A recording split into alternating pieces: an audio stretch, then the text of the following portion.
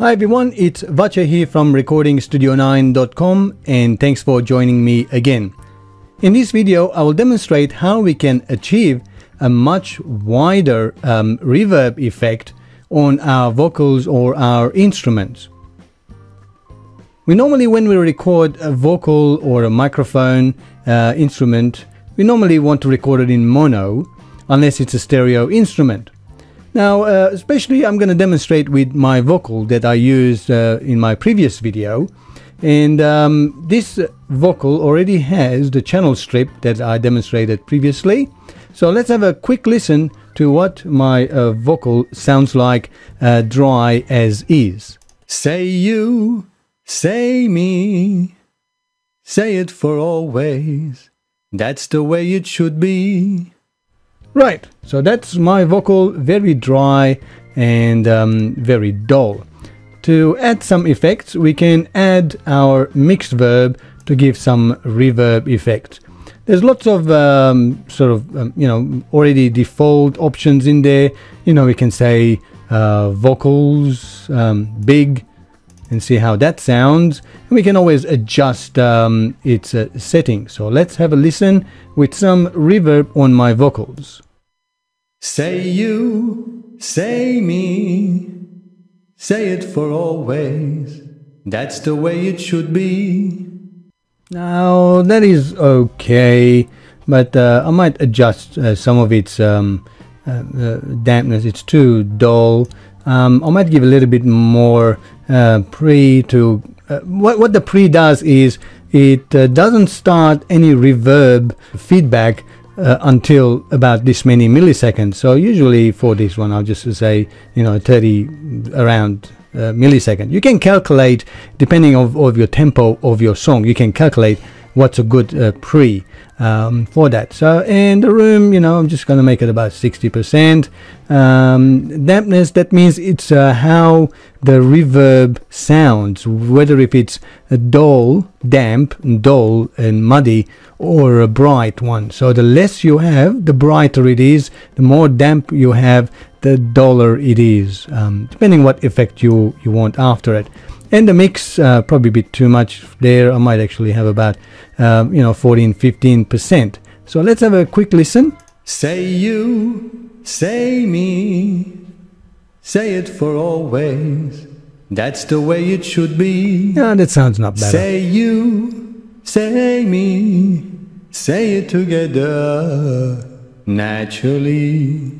Now that's all good but it's very still dull because it's right in the middle. Doesn't have any any any space. Doesn't have um, you know any ambience into the into into into my vocals into the reverb.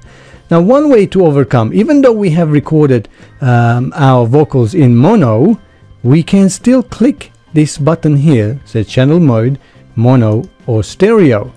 Now the reverb becomes stereo and wide is available as well. So let's have a listen how much difference will that make to our vocals.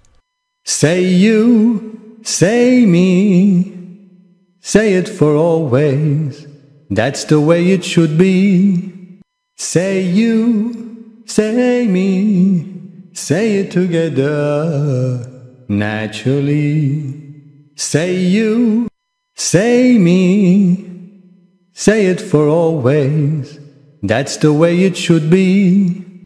So now um, our vocal is right in the middle, but the reverb is spread out. Now this, I even had to turn the mix down because the reverb was still too much for my ear. And you can, it's up to taste, you know, um, you can adjust the mix how you want it, whether the end size as well but you can see how my vocal stands out right in the middle right to your face where the reverb it just gives a little bit of ambience in the background and it doesn't overpower the vocal. So let's have a quick listen and I'm gonna adjust the width and uh, it's just like turning in the into a mono and stereo. So that's the stereo width. So let's have a listen again. Say you say me Say it for always. That's the way it should be. Say you, say me, say it together naturally. Well, now you know how you can achieve much wider stereo uh, reverb for your vocals even though you have recorded it in mono. And I would highly recommend vocals um, to be recorded in mono, bass guitars and things like that. Whatever is a, a single instrument, you should record it in mono. Electric guitars as well. Sometimes acoustic guitars, to get a really nice uh, control, you can use two microphones um, to give you that stereo effect, um, and you know one on the neck and one into the uh, hole. Um, but majority of the times you'll be recording it in mono, plus you save a lot of disk space anyway.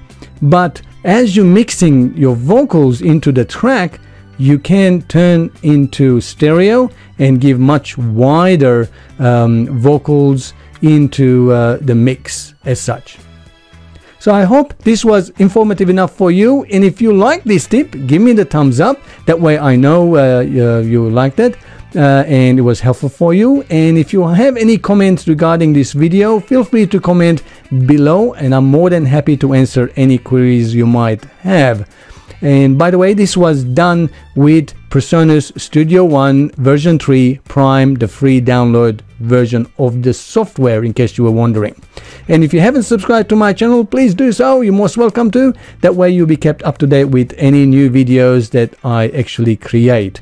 And if you haven't visited my website, that's recordingstudio9.com and also on my Facebook page as well. Just for search for Recording Studio 9. And I'll think next, until next time, thanks for watching. Make sure you create uh, lots of lovely music and songs. Until next time, see you. Bye bye.